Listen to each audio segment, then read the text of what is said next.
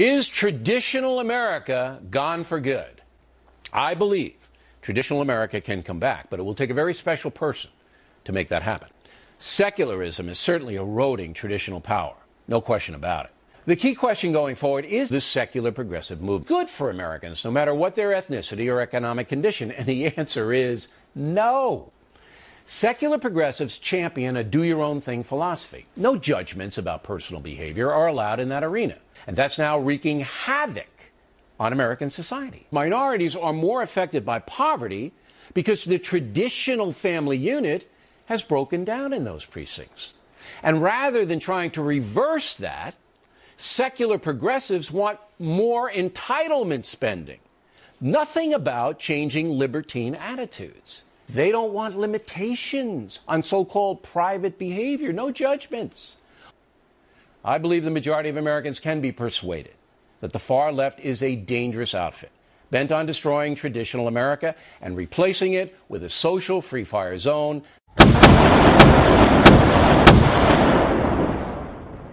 So, in case you haven't heard, Bill O'Reilly is taking a vacation.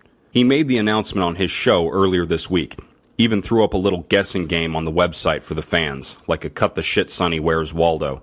The timing of his departure is the stuff political cartoons are made of. A plane taking off into the sunshine in one panel while flames consume 1211 Avenue of the Americas in the other. I guess I am a little curious. In which paradise will this mega rich primetime bloviator sequester himself while the fire threatens to burn his life's work to the ground? You see, O'Reilly has been having a rough year. Most recently, the New York Times published a damning article which claimed, among saucier details, that Billo, Mr. Judeo Christian Values, has cost Fox News $13 million in paid to five women who were each the recipient of unwanted sexual advances and or other forms of abuse. They say their careers were threatened directly by O'Reilly.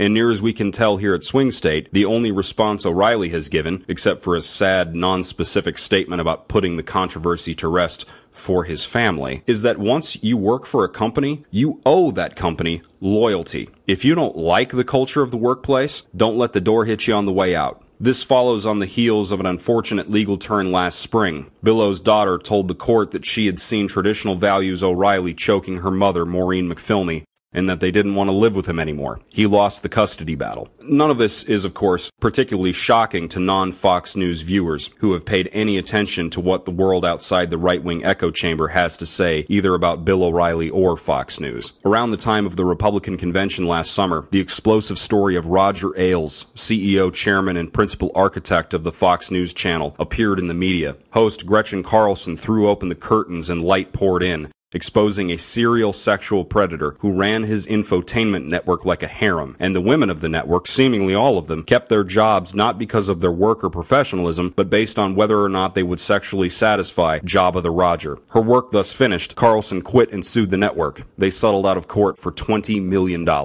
Shortly after the New York Times story confirmed that Billo was also to blame for the dystopian corporate culture at Fox News, the exodus began. Advertisers bolted for the door at a rate that ought to be a second political cartoon, with little stick-legged logos for Lexus, Advil, and H&R Block scurrying like rats from a sinking ship captained by a smirking, splotchy-faced O'Reilly. But for about a week, Bill maintained his vulture's perch atop the pseudo-journalism outlet he more or less built with his friend Roger. His audience, at least so far, has not been dissuaded from tuning in, which would ordinarily be remarkable, but for Fox viewers it is just the latest con they failed to spot from sheer lack of relevant information. Nobody, for instance, who knew about the Andrea Mackris scandal in 2004, or who was familiar with Billo's tendency to alter history in his Killing Historical Persons series to make himself seem more central to it, would be surprised to learn the truth about Bill. Look, there is a point in here, and it's not just to glory in yet another right wing virtue monger collapsing under the weight of his own bluster and bullshit, because this seems to be a pattern. Show me the man.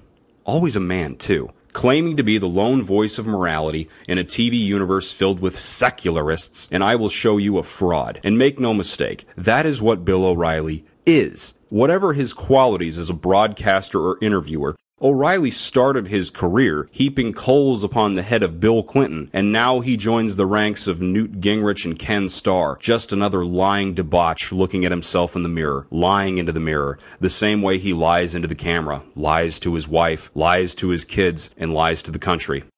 As someone who is aligned with the political left, I am approaching a crisis of empathy. What more can I say to someone who watches Fox News, who turns to a hypocrite like Bill O'Reilly, a filthy stain of a person, for a sermon on traditional values, or any values at all? What do I say to a person who is willing to vote for a president who admitted on tape to this very same sort of behavior? There really are only so many options. If you don't know the truth about Bill O'Reilly and Roger Ailes and Donald Trump, you're either ignorant or a fool. On the other hand, if you do know the truth, but simply fail to see the relevance of it, or worse, don't care at all that this man and men like him have done these things to women, there's something wrong. Really, truly wrong. And there is something wrong with the American right wing, and there has been my entire life. It's more than a few individuals failing to live up to a standard. It's an entire culture, from pill popping Limbaugh to the Fox News channel, assuming a perch on a moral mountaintop high above the swamp of secularism, outwardly preaching nonsense about traditional values while inwardly monsters run the joint. It's empty. All of it. And worse than empty, it is a peerless form of hypocrisy that has over time eroded American democracy and clouded the ability of otherwise decent people to think rationally. Because instead of turning to journalists and experts in relevant fields for the news of the day, they turn to what Jon Stewart called Bullshit Mountain, of which O'Reilly is the king, or at least he was. Speculation is rampant that the young Murdoch boys, whose super rich Australian father owns the parent company of Fox, want Billo to stay on vacation permanently. It would be an ignominious end. He would simply disappear from the airwaves. No goodbyes, no farewells, no sober reflection on a lifetime spent spinning in the no spin zone. Just gone. Poof, like the women whose careers he derailed out of smallness and spite when they wouldn't join him in his hotel room. Maybe that's a fitting end to the O'Reilly factor, one that reminds us karma is in our culture characterized as feminine,